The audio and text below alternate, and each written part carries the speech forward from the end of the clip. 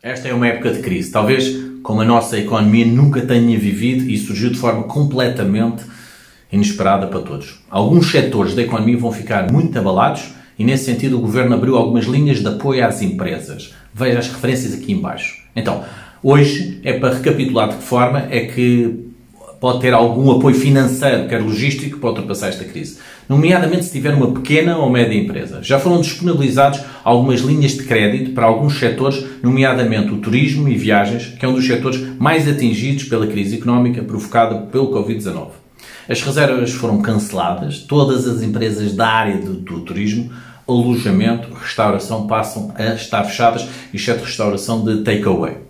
Nesse sentido, foram criadas linhas de apoio para quatro setores: restauração, lazer, alojamento e indústria. No total, o Governo anunciou medidas de apoio às empresas que garantem um aumento de liquidez próximo dos 9,2 mil milhões de euros, dos quais 5,2 mil milhões de euros na área fiscal, 3 mil milhões na área das garantias e mil milhões na área contributiva para empresas que tenham parado completamente e que tenham uma quebra na sua faturação superior a 40% em relação a períodos homólogos. Veja as referências em baixo. Outras medidas visam aliviar alguns compromissos fiscais e de contribuições para a segurança social, para reduzir a pressão sobre a tesouraria das empresas que de repente vem cair o seu rendimento mensal.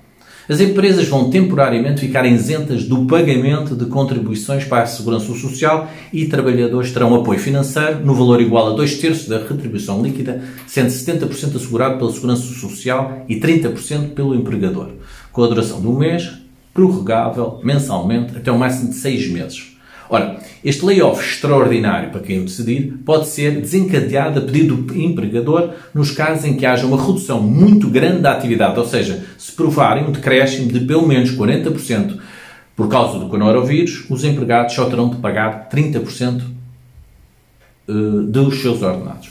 Sendo o, o, os empregadores, sendo que o Governo, nomeadamente o Ministro da Economia, um dos objetivos é evitar que as empresas atirem, uh, entrem já em dificuldade por problemas de liquidez. Nesse sentido, vai haver um alívio nos compromissos perante o Estado e a banca.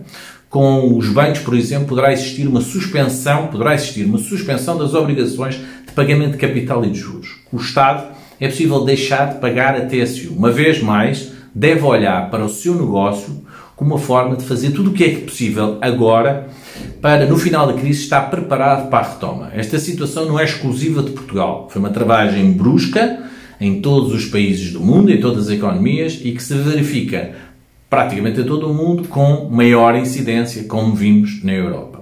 Veja as referências em baixo, informe-se melhor. É uma ideia que eu estou a dar. Para as empresas que vão ter de fechar as portas nas próximas semanas ou eventualmente nos próximos meses, estão a ser pensadas várias medidas para evitar que haja despedimentos. Naturalmente, isto não é suficiente para lidar com as quebras brutais que poderão fazer -se sentir nos próximos meses, mas neste momento de crise não vale a pena muito pensar nos SES.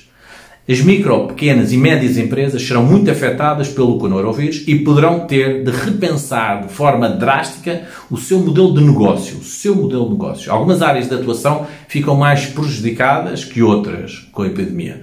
Mas cada um deve gerir o melhor que consegue utilizando todos os meios disponíveis. A Confederação Portuguesa das Micro, Pequenas e Médias Empresas percebe a gravidade do momento e que vive e insiste, por exemplo, para que o Estado liquide todas as dívidas pendentes e a estas empresas com o pagamento imediato das dívidas, para garantir alguma entrada de cash, de dinheiro. Está ainda a reivindicar que seja agilizado o pagamento dos fundos comunitários, diminuindo o investimento público e que os bancos não lucrem com a linha de crédito a capitalizar o Covid-19 e que os micros e pequenas empresas da indústria têxtil possam receber grandes quantidades de máscaras e fatos para poderem continuar a trabalhar. Já a plataforma de meios de comunicação social privada, que tem como associados os grupos uh, Global Media, uh, Confine, Empresa, Média Capital, Público, Renascença, pediu ao Governo um conjunto de medidas para salvaguardarem a sobrevivência dos principais meios de comunicação, pois registra quebras superiores a 50% da receita nas vendas, bem como nas publicidade tradicional. Penso que se realmente tenta adaptar-se, nem tudo estará perdido. Pode não conseguir que todos trabalhem, pode ter que dispensar algumas pessoas, porque se prevê que aconteça em vários setores, mas importa sobretudo não desistir.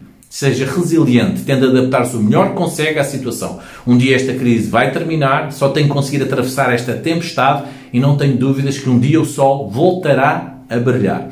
Veja as referências em baixo, informe-se melhor no seu caso e na sua empresa.